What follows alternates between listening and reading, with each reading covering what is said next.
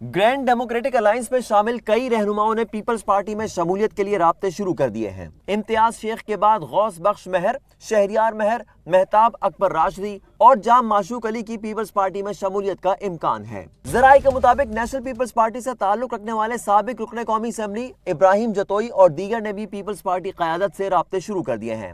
صوبائی وزیر منظور حسین وسان کہتے ہیں جی ڈی اے کے اکثر لوگ پیپلز پارٹی اور کچھ لوگ پی ٹی آئی میں شامل ہو جائیں گے۔ جی ڈی اے دسمبر میں ختم ہو جائے گا۔ اچھا۔ اور جی ڈی اے کے جو بھی پارٹیاں ہیں ہاں۔